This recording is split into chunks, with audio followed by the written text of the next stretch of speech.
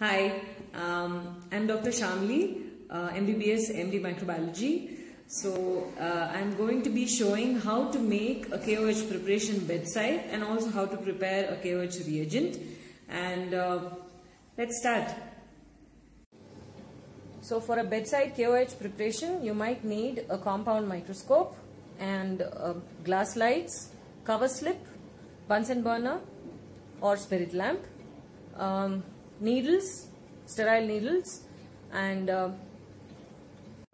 forceps and uh, what you have to do with the sample is that make sure you take a smaller sample and place it on the glass slide and then put a drop of KOH and cover it with the cover slip.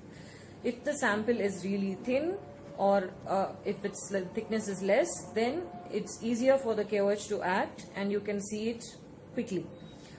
But if not, if the sample is really thick, then you might have to wait for a while till the KOH digests the tissue. So that is the only reason why we might have to wait for a KOH report. Otherwise, it is uh, depending on the thickness of the sample, you might have you can give the uh, positive result early. So important objectives under the microscope are first always make sure to observe your necrotic material under the scanx. So make sure you are focusing the correct field. Then you can switch on to 10x and then to 40x. Your confirmatory is usually 40x okay but screening screen it via your 4x that is your scanner and your 10x. With that you can make sure where the necrotic material is and then it, since the fungus is invasive it will grow into the tissue. So that's the reason why we have to look into the tissue. It is not something which you will see outside scattered. When you are not sure, please do not mince the tissue. Do not mince in a mortar and pestle. Do not do any of that. You have to handle this tissue with utmost care uh, because it's really fragile. The fragments can break. Uh, and also, if at all you have to preserve this particular slide because it's a wet mount, there's a chance that the water can dry out.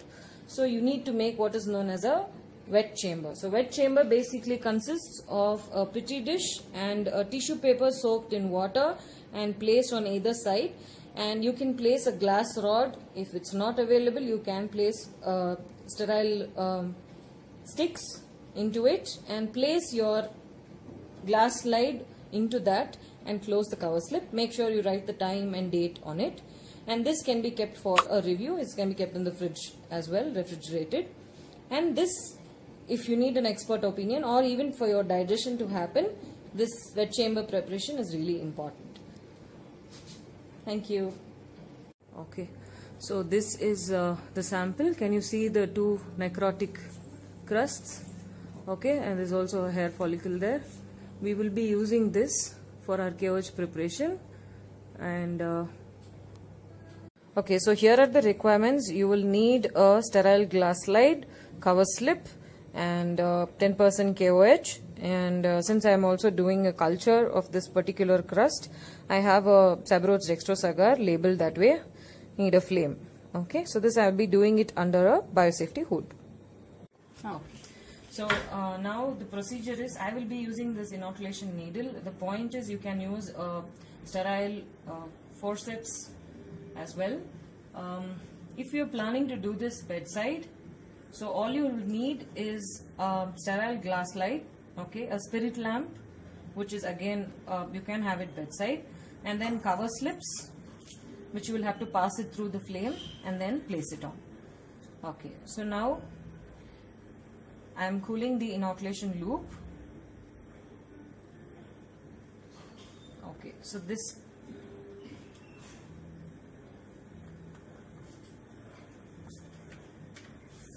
okay.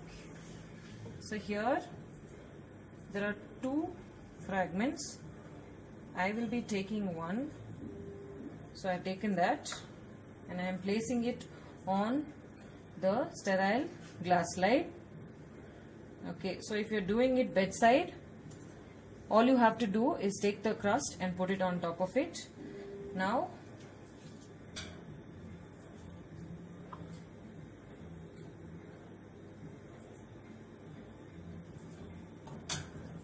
So I will be adding a one drop of KOH.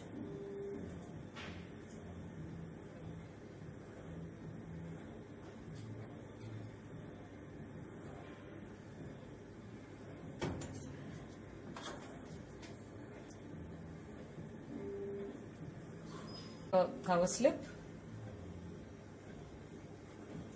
so if you see here I am placing it on the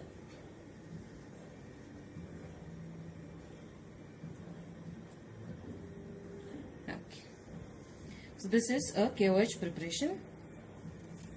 Okay. So now we will observe this.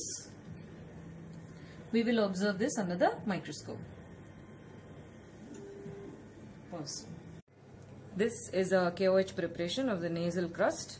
Uh, it is 10% KOH. Now I will show you how to focus it uh, under a microscope.